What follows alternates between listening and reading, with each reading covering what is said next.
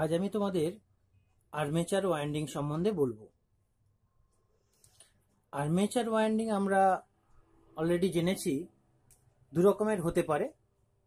একটিকে বলা হয় ল্যাপ ওয়াইন্ডিং আর একটিকে বলা হয় ওয়েভ ওয়াইন্ডিং তবে আজকের আমাদের আলোচনাতে আমরা জানব কীভাবে ল্যাপ ওয়াইন্ডিং করতে হয়।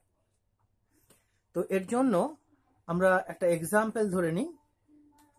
সেই এক্সাম্পলের ভিত্তিতে আমরা আর্মেচার ওয়াইন্ডিংটা করব।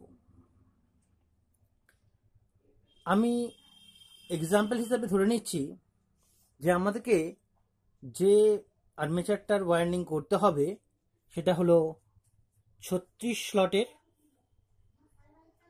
স্লট সম্বন্ধে আগেই বলেছি আর্মেচারের মধ্যে যে খাঁজ কাটা অংশগুলির মধ্যে আর্মেচার ওয়াইন্ডিংগুলিকে বসানো হয়, সেগুলোকেই স্লট আছে। আমাদের আমরা প্রথমেই কোনো একটা আর্মেচারের এই স্লট গুনে নিতে পারব।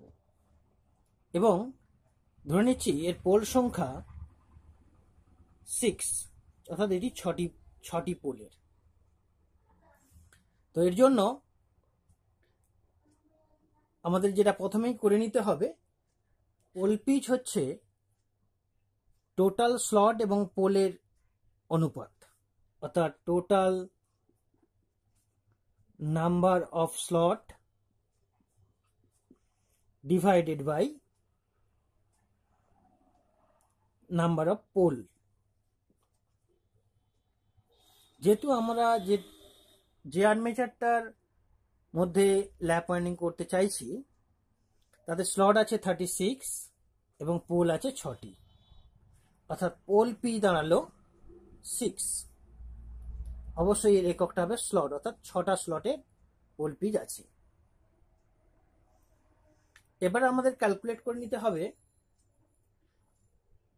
ব্যাক পিচ এবং ফ্রন্ট পিচ ব্যাক পিচকে আমরা ওয়াই সাফিক্স বি দ্বারা ডিনোট করে থাকি এবং ল্যাপ ওয়াইন্ডিং এর ক্ষেত্রে এর মান সাধারণত এক বেশি হয়, অর্থাৎ পোল পিচের থেকে এক বেশি, অর্থাৎ pole pitch plus one equals to six plus one equals to seven এবং ফ্রন্ট পিচ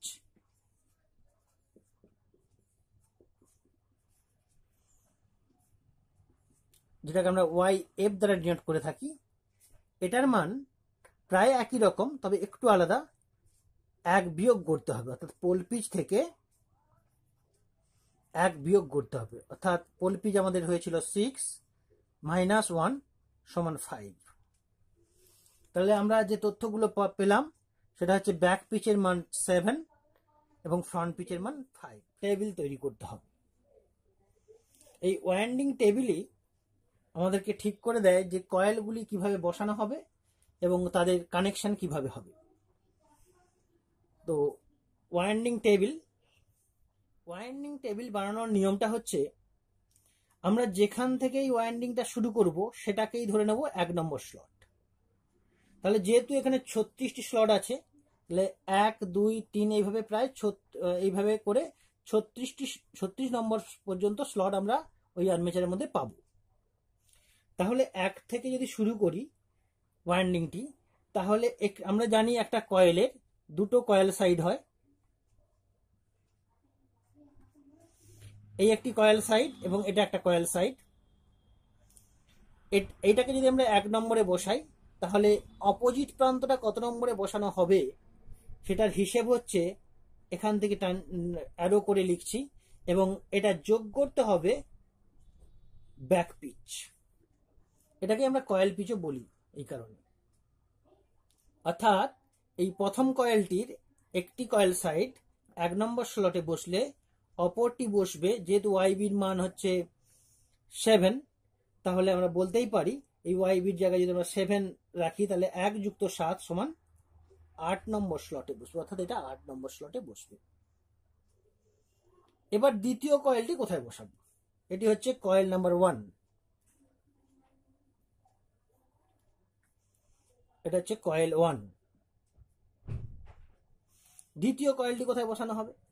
দ্বিতীয় কয়েলটি এখান থেকে ফ্রন্ট পিচ মাইনাস করতে হবে, অর্থাৎ মাইনাস হবে ফ্রন্ট পিচ ওয়াই এফ তার প্রথম যে কয়েল সাইডটি বসাতে গেলে ফ্রন্ট পিচ মাইনাস করতে হবে এখান থেকে। অর্থাৎ আমরা ওয়াই এফ এর মান যেহেতু পাঁচ আছে, তাহলে এখান থেকে পাঁচ মাইনাস করব। আট থেকে পাঁচ মাইনাস করলে যেটা দাঁড়াবে সেটা হচ্ছে থ্রি অর্থাৎ দ্বিতীয় কয়েলের একটি সাইডকে আমরা তিন নম্বর স্লটে বসাবো। আবার আগের পদ্ধতি অনুযায়ী এর সঙ্গে সাত যোগ করব। সাত প্লাস তিন সমান দশ, অর্থাৎ এই দ্বিতীয় কয়েলটির একটি সাইড তিন নম্বর স্লটে বসবে এবং অপোজি অপর প্রান্ত, অপর কয়েল সাইডটি দশ নম্বর স্লটে বসবে। এটা হচ্ছে কয়েল টু। এই প্রসঙ্গে একটা কথা বলে রাখি, এরকম কয়েল ওয়ান কয়েল টু করে আমাদের কতগুলো কয়েল লাগবে? যেহেতু ছত্রিশটি স্লট আছে এবং এক একটি কয়েলকে বসাতে দুটি করে স্লট লাগে তাই ছত্রিশ ডিভাইডেড বাই টু সমান আঠেরোটি কয়েল আমাদের লাগবে। এবং সেখান থেকে সাত যোগ করে আমরা পাবো যেটা সেটা হচ্ছে নয় সাত ষোলো ছত্রিশ। ছত্রিশ নম্বর স্লট তো এরপরে আবার পাঁচ বিয়োগ করব। পরের কয়েলের জন্য, অর্থাৎ এটা পনেরো নম্বর কয়েল। এরপরে আমরা যেটা পাবো সেটা হচ্ছে থার্টি সিক্স মাইনাস ফাইভ মানে থার্টি ওয়ান এবং এর সঙ্গে যোগ করব সেভেন তাহলে পাবো তো আমাদের আটত্রিশটা দরকার নেই, তো তারপর তাহলে আমাদের যেটা করতে হবে সেটা সেটা হচ্ছে থার্টি এইট থেকে থার্টি সিক্স বিয়োগ করে আসবে যেটা, সেটা হচ্ছে দুই, অর্থাৎ এটার স্লট নাম্বার হচ্ছে টু স্লট নাম্বার হচ্ছে টু অর্থাৎ আমরা থার্টি এইটের পরে ব্যাকেটে লিখে রাখছি টু তার কারণ হচ্ছে থার্টি এইট থেকে থার্টি সিক্স বিয়োগ করলে হয় দুই, অর্থাৎ এটা দু নম্বর স্লট অ্যাকচুয়ালি তো এরপরে আমরা এখান থেকে পাঁচ বিয়োগ করে দিচ্ছি আবার থার্টি এইট থেকে পাঁচ বিয়োগ করলে হয় থার্টি থ্রি আর তার সঙ্গে সাত যোগ করলে হয় ফর্টি একই রকমভাবে চল্লিশ থেকে যদি ছত্রিশ আমরা বিয়োগ করি, তাহলে এটা এটা কিন্তু প্র্যাকটিক্যালি চার নম্বর স্লট আবার আমরা পাঁচ বিয়োগ করছি থার্টি ফাইভ তো এখানে আসবে আমাদের থার্টি ফাইভের সঙ্গে সাত যোগ করলে ফর্টি টু তার মানে এটা ছ নম্বর স্লট দেখো এটা ছিল পনেরো নম্বর কয়েল তাহলে এটা ষোলো নম্বর কয়েল এটা সতেরো নম্বর কয়েল এটা আঠেরো নম্বর কয়েল তাহলে আমাদের আঠেরোটা কয়েলই ঠিক এই এই স্লটে বিভাজিত হয়ে গেছে। প্রথমে বলে রাখি যে ওয়াইন্ডিং ডায়াগ্রামটা অন্য আর কিছুই নয় একটা আর্মেচারের ইলুস্ট্রেটেড ছবি। অর্থাৎ আর্মেচারটা প্রকৃতপক্ষে দেখতে হয় গোল।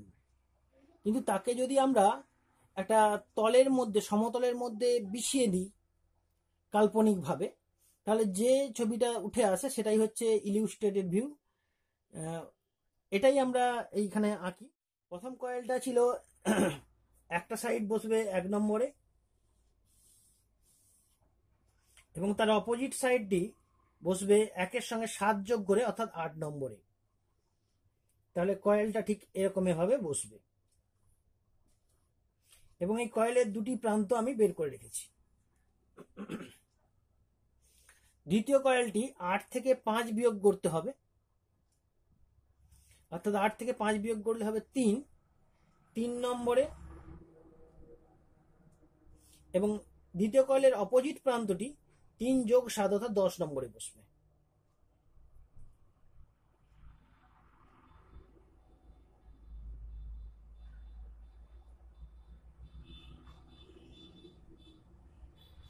এরও দুটি প্রান্ত। এবার সংযোগটা কীরকম ভাবে হবে? সংযোগটা কেমন ভাবে হবে সেটা একটু দেখে নিই। সংযোগটা হবে প্রথম কয়েলের যে আট নম্বর যে টার্মিনালটি আছে, অর্থাৎ শেষ টার্মিনালটি, তার সঙ্গে প্রথম টার্মিনালটির কোনো কানেকশন হবে না আপাতত এখন। আঠের সঙ্গে দ্বিতীয় কয়েলের প্রথম টার্মিনালটি, অর্থাৎ এইটি, যেটা তিন নম্বর থেকে বেরিয়েছে তার সঙ্গে সংযোগ হবে। এবং এখান দিয়ে এটি টার্মিনাল বেরিয়ে আসবে। এবং বেরিয়ে এসে এটি কমিউটেটার সেগমেন্টের সঙ্গে কানেক্টেড হবে। কমিউটেটার সেগমেন্টের সঙ্গে এই অংশটিকে বলছি কমিউটেটার সেগমেন্ট এই কমিউটেটার সেগমেন্টের রাইজারে গিয়ে কানেক্টেড হবে এই টার্মিনালটি এর দুটি কয়েল হয়ে গেছে, তৃতীয় কয়েল তৃতীয় কয়েল কোথায় বসানো হবে? না, এখানে ছিল লাস্ট হয়েছিল দশ। দশ থেকে পাঁচ বিয়োগ মানে পাঁচ।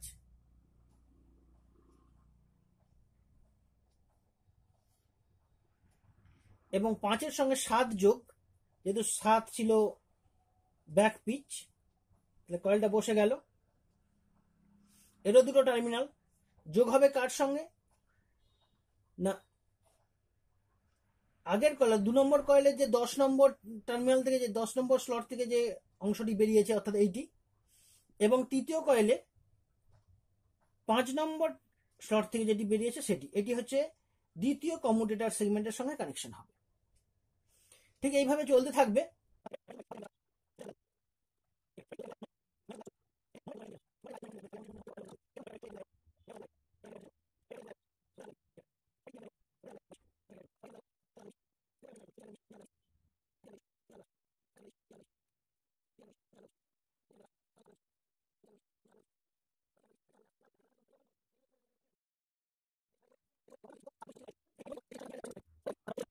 চল্লিশ থেকে পাঁচ বিয়োগ পঁয়ত্রিশ, অর্থাৎ পঁয়ত্রিশ নম্বর স্লট এখানে। আর তার অপোজিট প্রান্ত ছ নম্বরে বসবে। ঠিক একই রকম ভাবে কানেক্টেড হবে, হয়ে কম্পিউটার টার্মিনালগুলো কানেক্টেড হয়ে কম্পিউটার সেগমেন্টের সঙ্গে যোগ হবে এবং লাস্ট টার্মিনালটি ঠিক প্রথমের টার্মিনালের সঙ্গে যুক্ত হবে। একেবারে সবের শেষের টার্মিনালটি এর এক নম্বর যেখান থেকে আমরা শুরু করেছিলাম, সেই এক নম্বর টার্মিনালের সঙ্গে যুক্ত হয়ে সেটাও কিন্তু কম্পিউটার সেগমেন্টের সঙ্গে লেগে যাবে। চল্লিশ নম্বর কম্পিউটার সেগমেন্টের সঙ্গে সরি থার্টি ছত্রিশ নম্বর কম্পিউটার সেগমেন্টের সঙ্গে লেগে যাবে তো এটা হলো আর্মেচারের ল্যাপ ওয়াইন্ডিং